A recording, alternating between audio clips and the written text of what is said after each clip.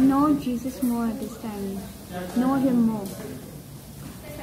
Be more in His presence, be more in your focus towards Him. Because He will guide you in His direction. He will guide you properly, He will guide you right. He will guide you according to His will. His will is very much important in your life.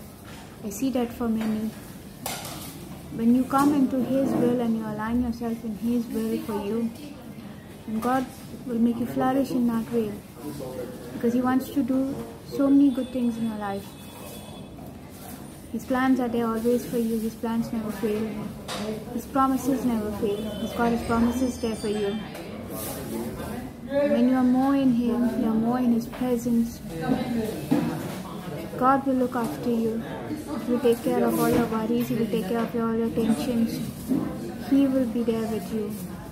He does not leave anyone, does not forsake anyone. He is always there.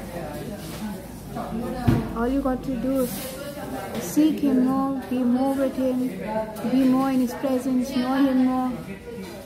Because He does care for you, He does love you, and He wants to do so much more in your life. He's just telling me to tell you, you are precious to Him.